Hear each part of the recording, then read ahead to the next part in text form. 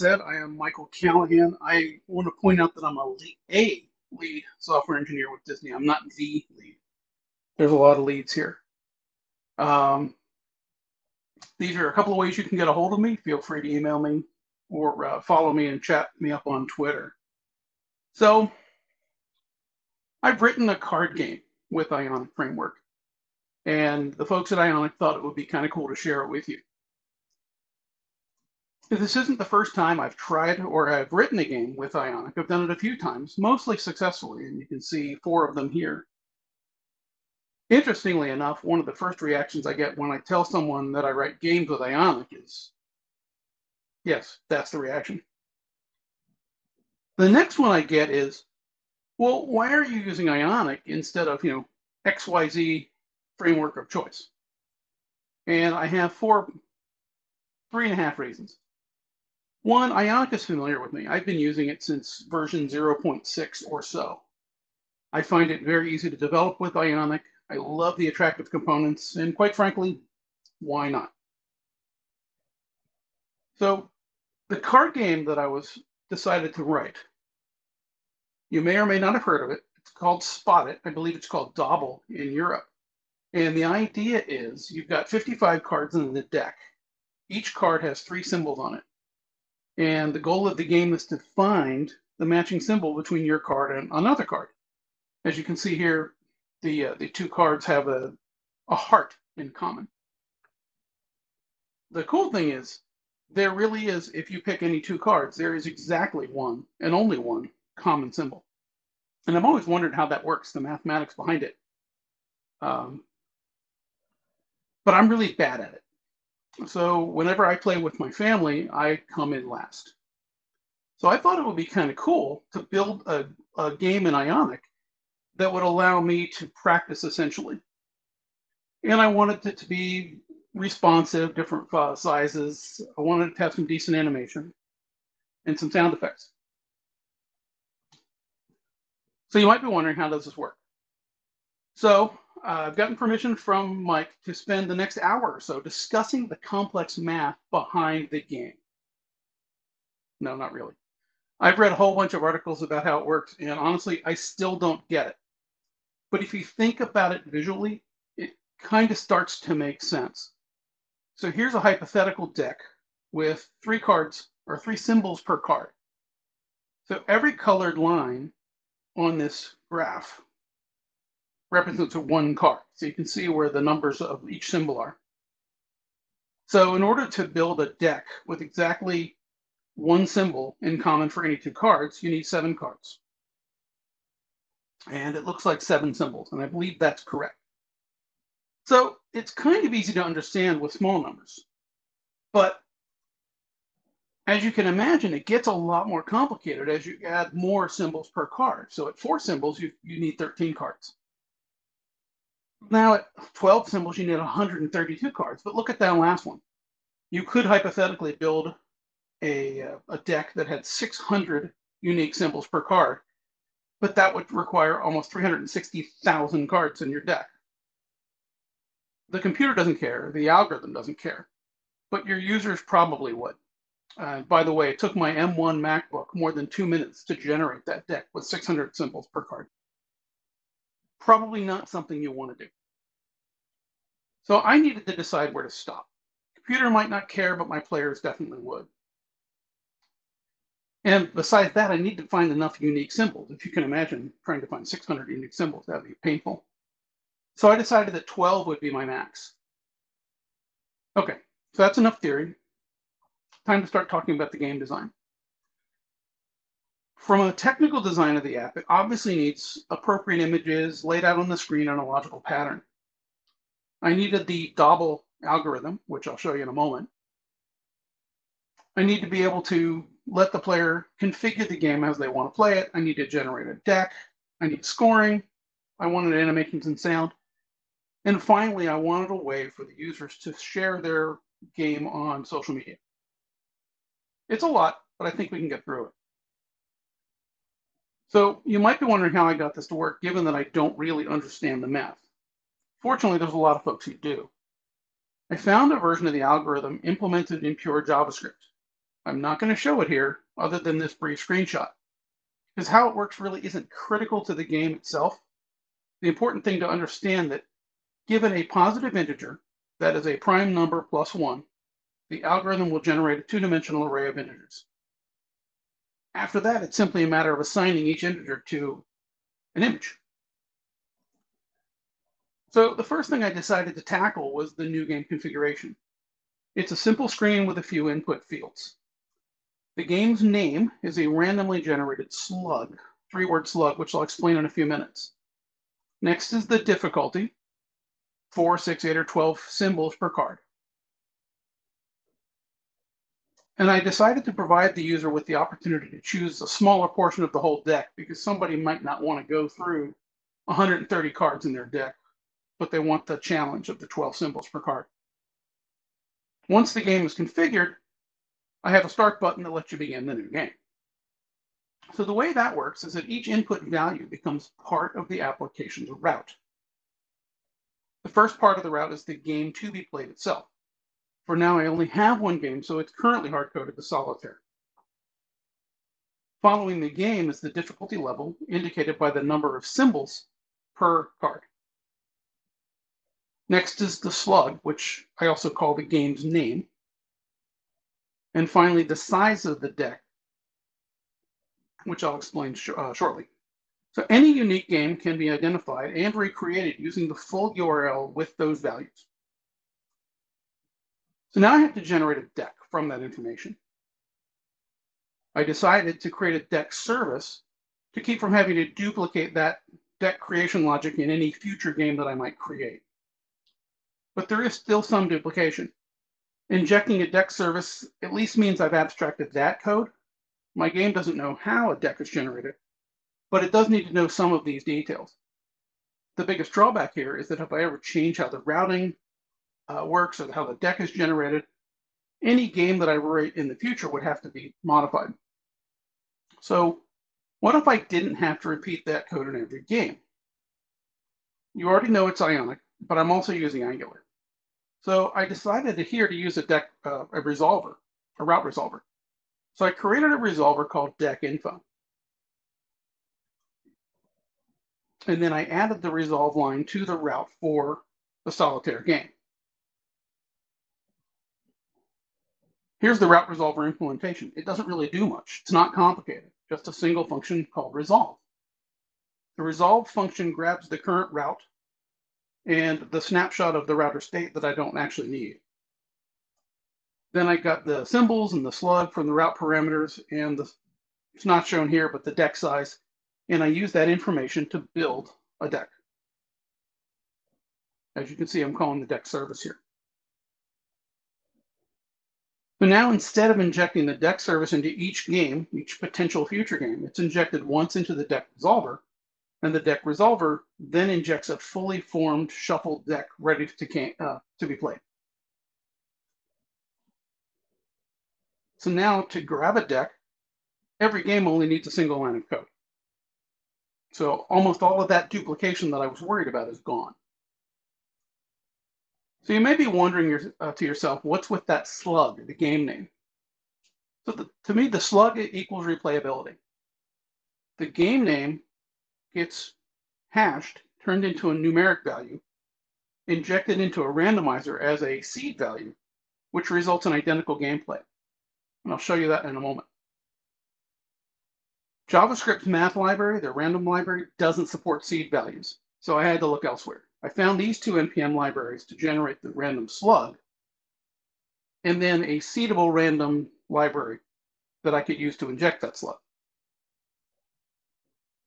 So whenever the player is about to start a new game, I first have the application generate a random three-word slug using the code you see here.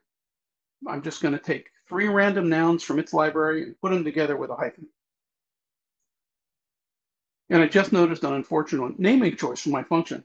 I'm calling it generate slug, which called the slug library generate slug function. It works, but unfortunate naming. So at the beginning of every game, that slug is used to create a numeric hash. That's the hash code function in the middle. the value sent to the randomizer to seed its random number generator. Finally, I expose a shuffle method that takes any array and shuffles it with the now seeded randomizer. The end result is that everybody who plays the same game with the same URL will get the same game. Make sense?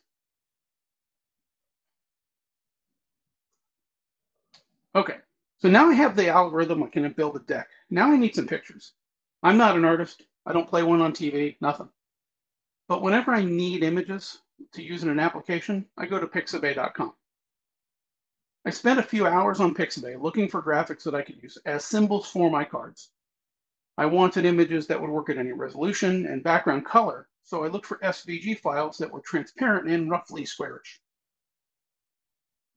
The algorithm said that I needed at least 130 images, and I think I ended up with 137.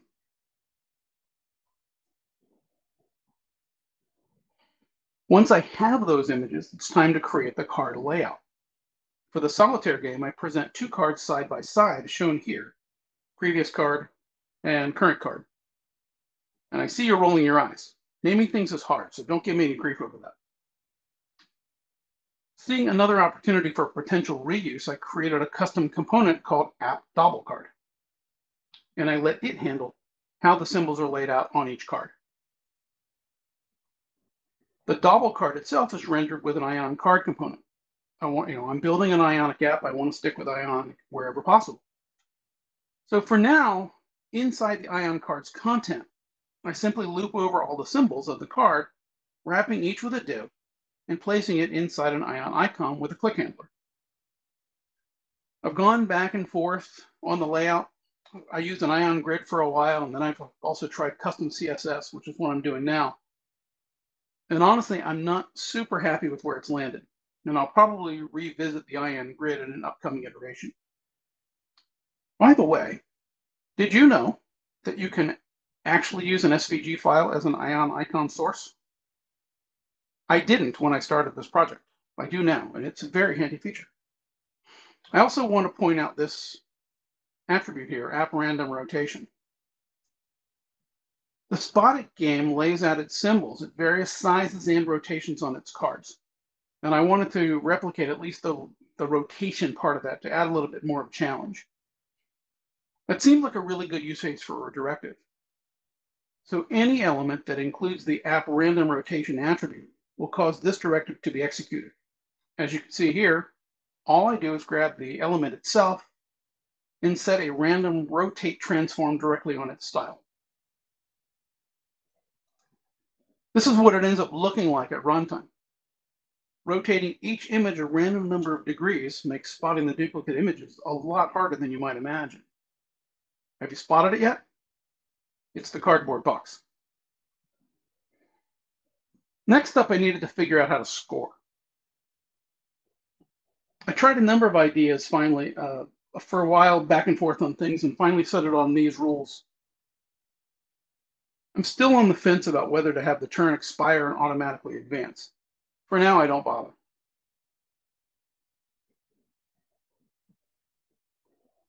So to calculate the score for each pair of cards, I compute the total time it took the user to find a match in milliseconds. Then I calculate the max possible score, which is 1,000 times the number of symbols on the card, less 500 for each time the user clicked the wrong selection. And then I subtract the time elapsed. Finally, because I don't want to appear heartless, I make sure the player can't get less than 50 points on a card. Next up, I wanted an unobtrusive means of flashing the score very briefly. The player might be interested, but shouldn't have to take any action. And it shouldn't get in the way of, game, of any of the gameplay.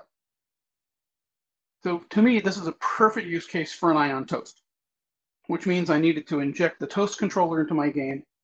And as the next pair of cards is being dealt, I briefly show the toast at the top of the screen for about a second and a half. That's just the right amount of time to display the score for that pair of cards while the cards are animating out and back in.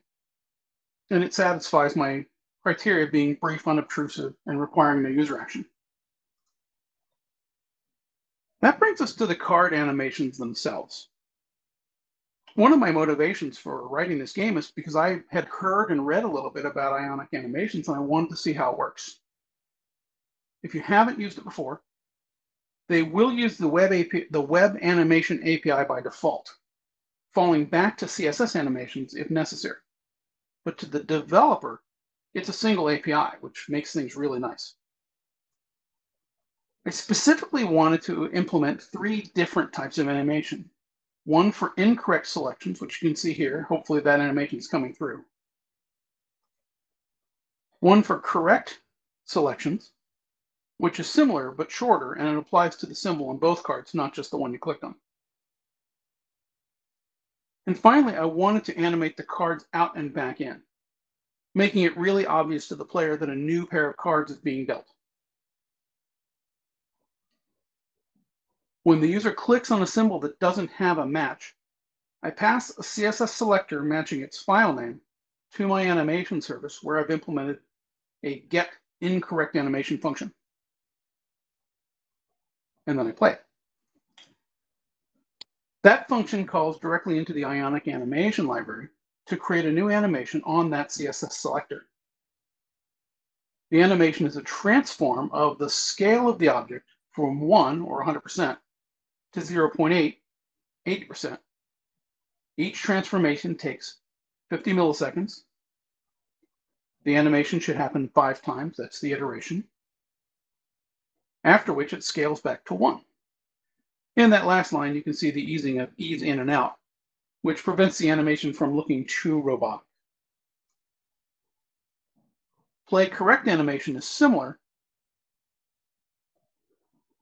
again, I pass the name of the file of, of the uh, selected tapped symbol. For the correct animation, instead of scaling the image down to 80%, I scale it up to 125% over 200 milliseconds, and I only do it once. And then I scale it back down to one with the same easing.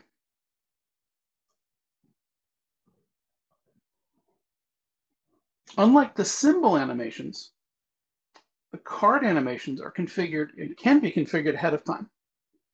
Each card is wrapped in a div, and those divs are never removed from the DOM, so I can set these animations and leave them alone. So I'll show you how they're used before how they're defined. At the end of a turn, immediately after the correct symbol is selected, I play the exit animation. I have to await it because all animations return promises. Then I check to see if there are any more cards, which I'm not showing that code. If there are, I advance the deck. For good measure, I call stop on the exit animation, and then I play the enter animation. I called the exit animation east-west exit animation with the idea that I might add a north-south animation someday. Here you can see two discrete animations. One applies to the div that matches selector west. That's just a CSS selector that gets passed in. It translates the entire div horizontally, 500 pixels, 500% to the left. The other animation, called exit east, does the opposite. Those two animations are then used to create a compound animation with a duration of half a second. With the same easing function I used before. What's significant about this is that by combining these two animations to create a new one, I can play the new one, which will then play the combination simultaneously. If you've ever tried to implement simultaneous animations with CSS, you probably appreciate how difficult that can be. But Ionic animation just kind of does it for you. The enter animation is the reverse of the exit animation, except for some reason, the translation is only 200% in either direction instead of 500%. I honestly don't remember why I did that. When it's all done, everything works together smoothly and seamlessly.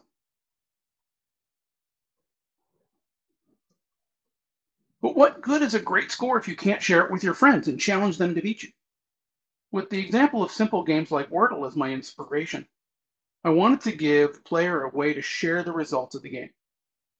At the end of each game, this sheet modal automatically appears. As you can see, it contains the final score, a call to action, the URL to the exact game just played, and some handy social sharing icons.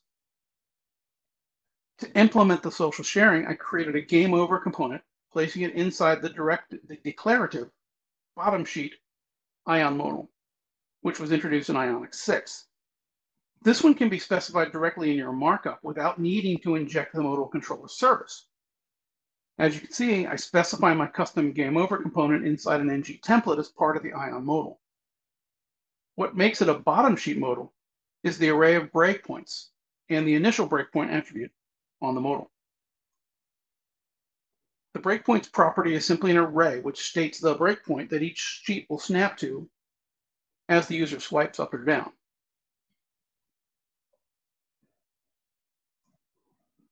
As for how the sharing itself is done, I found an NPM library called ngx share buttons. It's far more powerful than what I needed, and I'm really only using its share button directive on the ION component. So all I needed to do was provide some attributes and the directive does the rest. The share button attribute tells the library which social media to use, Facebook, Twitter, etc.